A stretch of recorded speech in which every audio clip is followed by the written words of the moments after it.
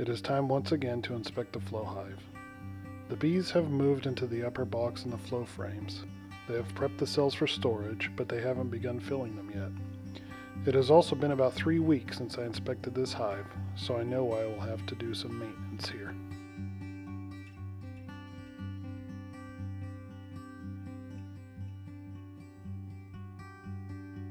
The boxes are stuck together with a lot of propolis, so much so that I can't open the boxes with my brute strength alone.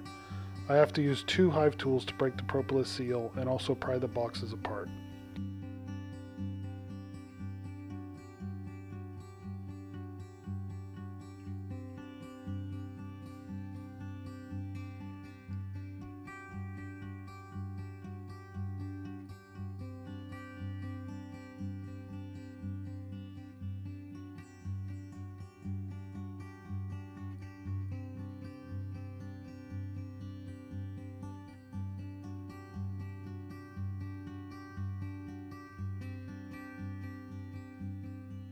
The queen excluder has been braced with wax, so this is an indication that the rest of the boxes will also be braced with extra comb.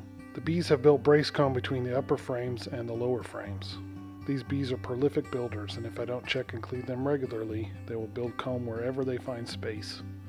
This causes problems for me because the frames are essentially glued together, and the only way to take them out is to break the brace comb apart. On this frame we can see a strong brood pattern, as well as good honey storage. This single frame is a small representation of the entire hive. The frames seem to alternate between being completely covered in honey or completely covered in brood. It is a very, very good colony that I want to do all I can to help survive. The workers work and the queen makes brood. They all know their jobs and they do them well.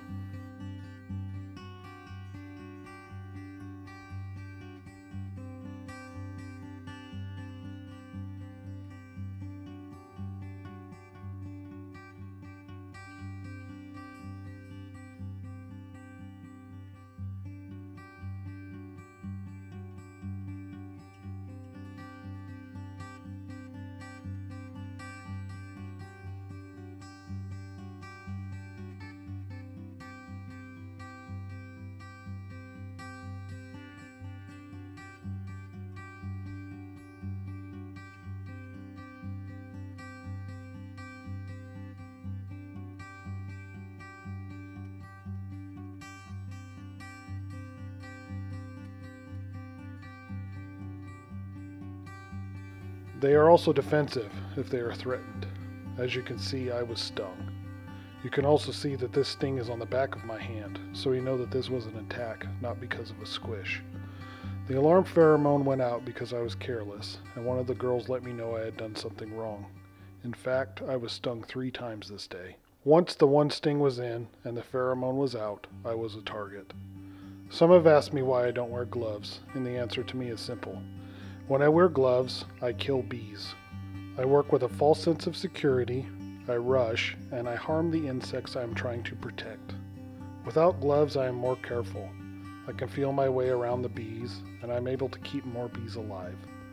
I am willing to suffer some pain from time to time if I can better help the bees.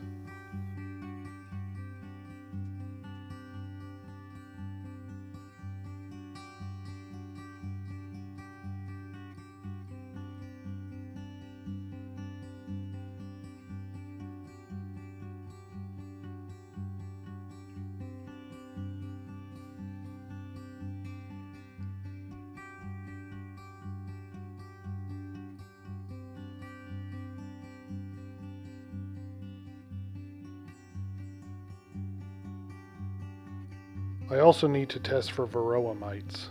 It is late in the summer and this is varroa season, if any season can be called that. I have selected a frame that has sealed brood as well as recently emerged brood. This kind of frame has the highest chance of showing an accurate mite count. The bees fall into the cup by running the cup down the frame and the bees roll in. Unfortunately, an alcohol bath awaits them, which kills them and any mites they carry almost instantly. A couple minutes of swift shaking releases the mites from the bees, and they float to the bottom for easy counting. This test revealed that I had 7 mites out of 300, which is an unacceptable mite count. Treatment is needed and must be applied now in order to save the colony.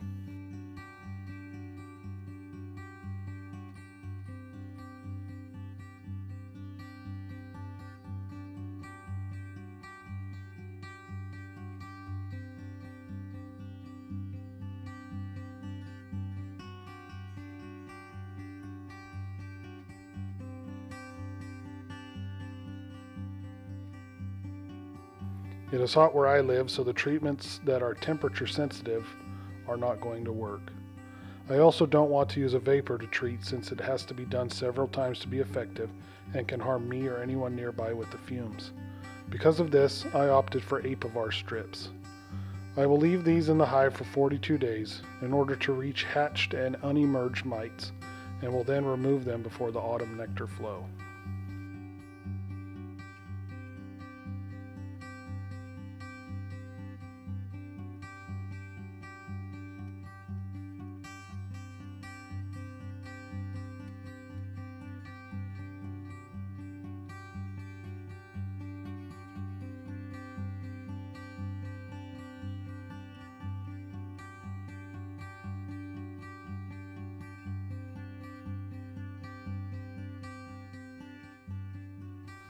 Thank you everyone for watching my adventures in beekeeping.